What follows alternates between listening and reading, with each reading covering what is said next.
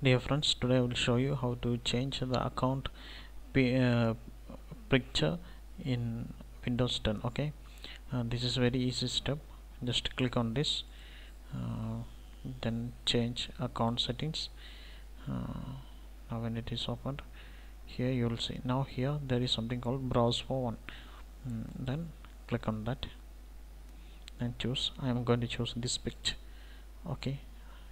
Choose now you see this currently changed successfully changed. This is an easiest method. And now you can see see here the image is changed. So that's all. Uh, thank you for watching. Have a great